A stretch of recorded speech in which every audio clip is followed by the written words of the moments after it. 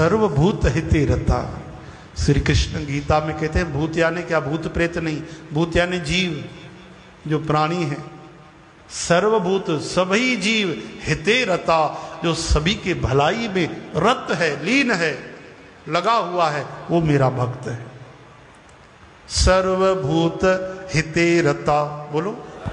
भूत हिते रता फिर बोलो सर्वभूत हिते रता सर्वभूत हिते रता फिर बोलो सर्वभूत हिते रता सर्वभूत हिते रता सर्वभूत हिते रता सर्वभूत हिते रता सर्वभूत हिते रता सर्वभूत हिते रता ये गीता का अनमोल ज्ञान है। आज इतना तो याद कर लोगे आप। ठीक है?